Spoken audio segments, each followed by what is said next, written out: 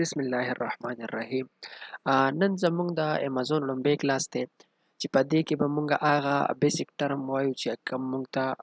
بار بار راځي په هغه کې اولنې ټرم زمونږ سره دی ای کامرس ای کامرس څه شی دی ای کامرس څه ته وایي هر هغه شی چې د انټرنیټ په ذریعه باندې واغستل شي او هغه خرڅ شي د بزنس یو داسې ماډل چې هغه د انټرنیټ په ذریعه واغستل شي او خرڅ کړي شي دې ته ای کامرس وي ټیک شو یو شی مونږ اخلو مثال په تور انلاین به انلاین خرڅو دې ته وي ای کامرس دې باندې به تاسو امید شي چې پوه شئ که تاسو نه څوک تاسو کوی چې ای کامرس څه ته وایي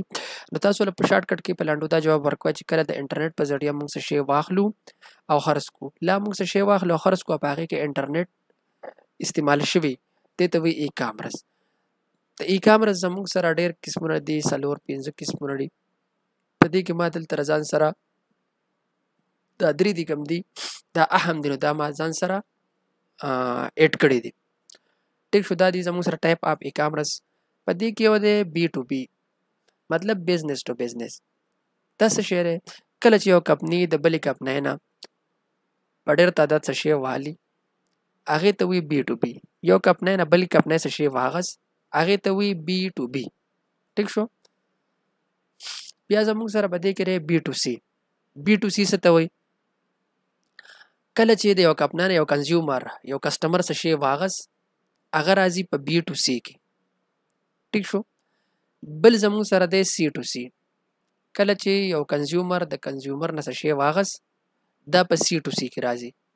مثال په تور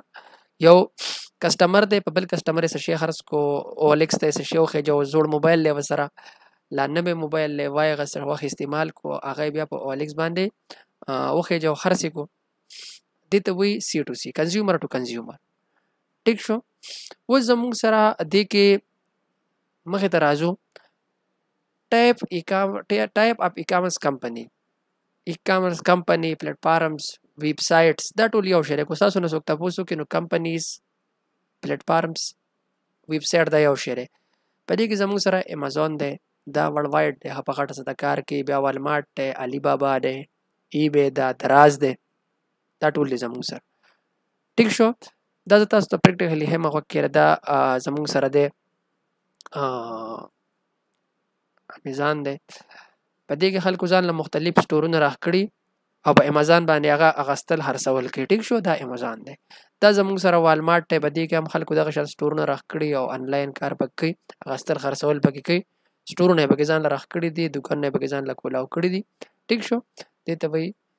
والمارټ او دا زموږ سره علي بابا دی چې نه یو ویب سایټ دی په دې کې هم خلکو ځان له سټورونه راخ کړي دي او مختلف قسمه اغستل خرڅول پکې بل زموږ سره دا ای بی دا په دې کې هم خلکو سټورونه راخ کړي او دا زموږ سره دراز دی ټیک شو په دې کې هم خلکو ځان له سټورونه راخ کړي اغستل خرڅول پکې کوي ها وز د دې مخې ته موږ راځو د دې د اکاونټ ټایپس دی ټیک شو د اکاونټ ټایپس پرې کې کم دی په دې کې د اکاونټ ټایپ زموږ سره دوه قسمه دی دلته سیلر اکاونټ او بایر اکاونټ ټیک شو دې کې سوري سپیس ورکو سیلر اکاونټ او بایر اکاونټ اوس سیلر اکاونټ او بایر اکاونټ څه شی دی سیلر اکاونټ څه ته وایي سیلر اکاونټ هغه ته وایي چې موږ په هغه کې سیل کو ټیک شو سیل پکې کو او بایر اکاونټ هغه ته وایي چې په هغه باندې موږ څه شی بای کو ټیک شو سیلر اکاونټ کوم دی مثال په تور دا موږ جوړو امازون دا سیلر اکاونټ موږ کوم جوړو نو دا موږ جوړو په دغه باندې په امازون سیلر سنټر باندې دا جوړیږي ټیک شو په دې باندې موږ سیل کو او بایر اکاونټ کوم دی چې موږ پیسې شي اخلو هغه موږ جوړو amazon.com ډایرک amazon.com ته کوم دی په دې باندې دا یاد ساته دا دوه خبرې ځان سره چې سیلر اکاونټ کوم دی په دې باندې به موږ سیل کو او بای ریکاونټ کم دی په دې به مونږ سیسونه اخلو نو دا بای ریکاونټ کم دی دا ډایرک امازون ډاټ کام باندې راغیږي امازون ډاټ کام کې ته لاګ ان خپل جیمیل دی یا جیمیل دی جو لاګ ان شپه کې جیمیل دی نه نو جیمیل به کې روخ کیاو لاګ ان شنو هغه بای ریکاونټ دستا او سیلینګ اکاونټ کم دی نو دا په امازون سیلر سنټرل کې راغیږي راغی پروسس مخه تر روان دی ټیک شو په دې کې بیا زموږ سره دلته دی د اکاونټ د امازون د سیلر اکاونټ ټایپس دي زموږ سره قسمونه دي زموږ سره دي مختلف قسمونه دي په هغه کې په 1 نمبر زموږ سره د انډیویډوال انډیویډوال بیا به دو نمبر زمونږ سره دی انډیویډوال پروفیشنل او په تین نمبر زمونږ سره دی بزنس په دې باندې مخکې مونږ تفصیلی باز کو پر دریو اکاونو چې دا څنګه څنګه راغیږي د څه طریقه ده او د دې څه ریکوایرمنټ یې د دې سو لیمیټیشن دی ټیک شو